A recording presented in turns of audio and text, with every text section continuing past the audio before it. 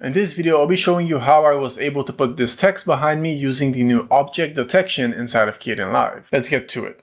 So first things first, before we can actually use the object detection, first you want to go inside of settings down to configure Kdenlive. And on the side panel here, you want to go down to plugins. And then at the top, we have the speech to text and right next to it, we have object detection. Now, to have this feature, you are going to need the latest version of Kdenlive or at least the 25.04 and up. So inside of object detection, you want to go down to install plugins to use. Simply click on install and let Kdenlive do its thing. You will need an internet connection and some patience. It's going to give you a pop-up about downloading certain assets and then installing them. So simply click on yes and then let it run. If ever you get an error, you can close out of Kdenlive, open it again, and then continue with the install. So once you're done installing the plugin, so I'll close out of this. This is an app image just so I could show you that window. I'll go back inside of my own install. Once the plugin is installed, you're going to get a window of the sort. You have an option here to download the models. I downloaded several different models, different sizes, you could say. I usually use tiny just for speed. And next to it, you have this uh, exclamation point here. If you click on it, then you have the link to the GitHub where you can see the models and more information about this. I'll leave a link down in the description of the manual page for this so that you can see how to install it if you run into errors or the steps to follow. So the link is in the description and simply click on the link and go check out the manual for more information. Now for the device and the dropdown, if you have a dedicated GPU, you'll have the option of your GPU in here. And if you don't see it, you can also click on this little button here so you get more information. Uh, in my case, I don't have a dedicated GPU, so it's going to be CPU.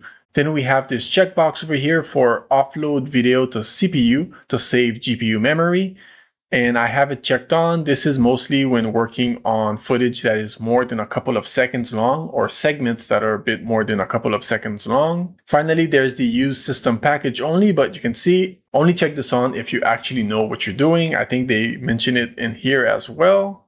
So once all of this is done, apply then okay. And now you should have it available to you. You can close out of Kdenlive and open up again if ever you think something is wonky. It's recommended to use this inside of the project bin directly, although you can use it both inside of the project bin and on the timeline. For this, we're going to use it inside of the project bin. So I already grabbed a segment where I want this text to pop in and I have the animation here. And inside of the project bin, I have a zone selected and I only really need a couple seconds. So in this case, I think it's two seconds. Let's see, one, two. I only need two seconds. The longer it is, the more processing power. And again, I'm running on CPU and this is just for demonstration. One option I have is to cut just the segment that I need and then save it to the project bin as a zone. That way I know exactly where to make the cut. So here is how it works.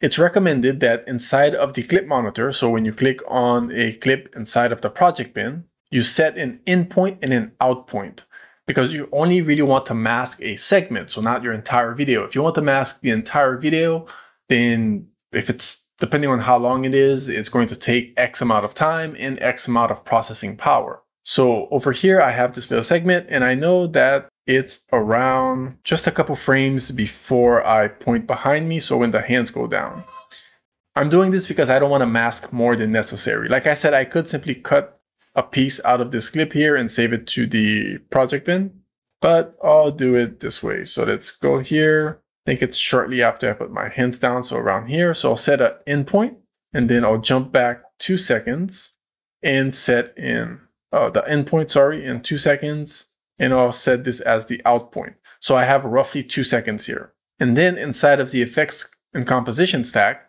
at the very top, there's this new little icon, which is a square with a circle inside of it to create an object mask. Now, your icon might be different than mine, maybe depending on your operating system or your icon set, but it's basically right there inside of the effects and composition stack. Simply click on it. You'll get this little window. You can toggle it on and off by the way. So if ever you're you feel like you're stuck in a weird mode, maybe it's just that, toggle it off, toggle it on. So we have the option to create a new mask. So I'll click on that. And now it's extracting the video frames from that segment that was selected inside of the project bin. So it's not trying to do the entire video, just that in and out set of points. You can change the colors, obviously over here. Uh, with the mouse hovering off of the clip monitor, you get some instructions. So you can simply left click, hold and drag to make a selection over the object. I found that this option has given like a few uh, hit or miss. It does grab the object, but it comes with some limitations, I'd say. The other option is to simply left click to add a point. You can hold down shift, left click again to add multiple points. And then you can hold down control and click to subtract areas. We'll take a look right now. So I'm going to left click on my forehead. If you just give it a moment, it's going to generate the mask image. Already it grabbed all of me, but if needed, you could have simply hold down shift and left click again to add another point. And then you have the control option where you would hold down control and click somewhere. I don't know if that's necessary, if it's going to break anything, but let's go ahead and do it. And then you get a minus uh, point. So this is to deselect anything you don't want to have selected. You can also left click on these points and move them around. So I could simply move this very far away from the subject. All right, so putting it on the sofa uh, fixes the little uh, glitches that was happening. Next, you also have the option to scrub through the clip monitor, so the segment that you've selected, and now you can add other points. Meaning, if in your video there's an object coming into the shot in that segment that you selected, but it comes in afterwards, you can simply move forward to where it shows up. So as you can see, we have a red dot down here, which is where we added the first points for the mask. And so I moved forward and now I can add more points. So now we have two red dots down here, right? So that's one way to give some follow up to your mask. So let's see over here, I'll add a subtract to the sofa so that it can just grab the, the subject here. You can see there's a small hole in the shirt, but that won't really be a problem for what I'm going to do. And once you have your selection and such, over on the right here we have generate mask. Simply click on it. And now this is where the length of the selection that you have of the clip or segment of the clip that you've selected comes into play. In my case, I have Audacity in OBS running in the background. So one capturing the screen, one for sound, plus Kdenlive doing this. So this might take a moment. All right, so that took a while. Once it's done, it's going to export the frames. All right, so we now have our mask. Now this is saved somewhere in the Kdenlive folder. So you can actually find the video file of this mask and you have several options. You can preview the mask, edit the mask, or apply the mask. I don't recommend clicking on anything other than apply mask. And you can also delete the mask and you can import mask. So if you had actually saved one of those masks in a different project or you didn't delete it from the other project, you could import it. So if you had a mask of the same footage, you could technically just import it. So click on apply mask and now it applies it to a shape alpha. And basically you can't really see alpha inside of the clip monitor but on the timeline, you can. And there we have it. So how do I place the text behind me? Let me just grab this one, move it above. And now the text is behind me. So now how do we get back the background? Well, the obvious thing to do is to simply duplicate this clip that we have over here. Now, luckily for me, I have it saved as a zone over here. So I can just grab the video part of it, drag it in, and we now have the background again. So there we have it for this. Now, this is not the only thing you can do with the shape alpha that we just created. So let's say we wanted to apply an effect only to the selection or to the invert of the selection, so everything that's not selected. To do so, if we go inside of the effects panel and look for mask, you also have a shape alpha mask. So we can drag in the shape alpha mask. You can see it's also going to use the mask that we've created. Let me see, which clip am I on? Am I on the right clip? No, I'm on the wrong clip. Hold up. I think I added it to the clip in the project, and there we go. So yeah, so if we look for shape alpha mask, let me go ahead and disable this, collapse. I'll put in the shape alpha mask. Then we can put a mask apply at the bottom. And now, if, for those of you who are familiar with this, this is the mask sandwich. Anything that goes in between those two will only apply to our selection. So you can see there's a little offset here, and I found that just clicking on the mask again fixes it. My guess is that it's something to do with synchronization, so you just click on it again and it will fix it. And there you go.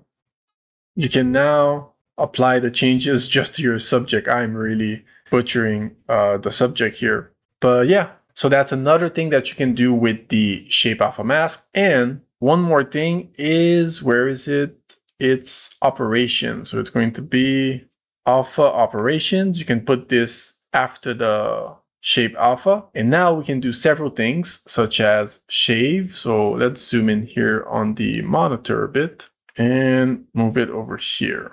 So uh, let's see if I turn this off for a bit and switch to gray and red. So the red parts are where the mask is and the gray parts are the not the mask. So shave here kind of blurs the edges. So it's shaving off of it or reducing them, you could say. We can also grow soft. So we can increase the size of the mask or the edges of the mask. We also have shrink soft, like several options in here that you can use now to fine tune the edges of the mask. You can also simply blur it depending on what you're grabbing. Increase the blur and you get like a little blur around the subject. Uh, besides all of that, you can also invert the mask. And there you have it. You would simply now apply all these changes to everything around the mask. So before I do this, let's go for image. Let's zoom back out.